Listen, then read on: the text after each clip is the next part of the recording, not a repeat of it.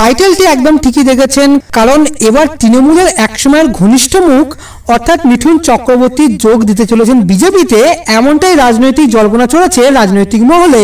এবং মাত্র একদিন আগে মিঠুন চক্রবর্তীর একটি কাজে যথারীতি এই জল্পনার সৃষ্টি হয়েছিল। যদিও রাজনৈতিক জগৎ থেকে অনেক দিনই দূরে দূরে ছিলেন টলিউডের এই মহাগুরু কিন্তু আবারও কি তিনি রাজনৈতিক জগতে ফিরে আসতে চলেছেন? এমনই তৈরি হচ্ছে জল্পনা। এখন প্রশ্ন হলো কেন? তো সেই প্রশ্নের উত্তর দেখে নেব আমরা এই ভিডিওটিতে। সুতরাং ভিডিওটিতে অবশ্যই শেষ পর্যন্ত সঙ্গে থাকুন।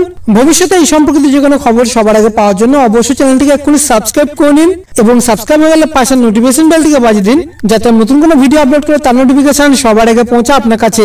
এবং আইটি রিকোয়েস্ট আপনার কাছে ভিডিওটিতে এক্ষুনি একটি লাইক দিয়ে দিন, কারণ আপনার একটি লাইক আমাকে অনেকটা উৎসাহিত করে পরবর্তী ভিডিও আপলোডের জন্য।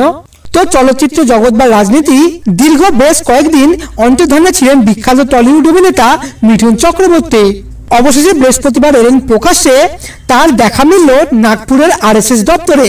স্বাভাবিকভাবেই প্রশ্ন উঠতে শুরু করেছে, আরএসএস দপ্তরে কি করছিলেন মিঠুন চক্রবর্তী?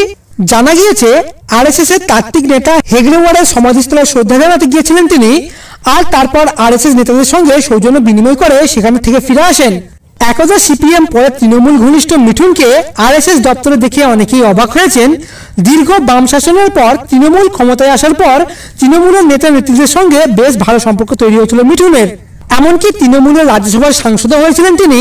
সাংসদের মেয়াদ শেষ হয়ে যাওয়ার আগেই রাজ্যসভার পদ থেকে ইস্তফা দিয়েছিলেন তিনি। তারপরে যথারীতি অন্তর্ধানে চলে গিয়েছিলেন তিনি। বেশ কয়েকদিন আগে তার অসুস্থতার খবরে পাওয়া গিয়েছিল।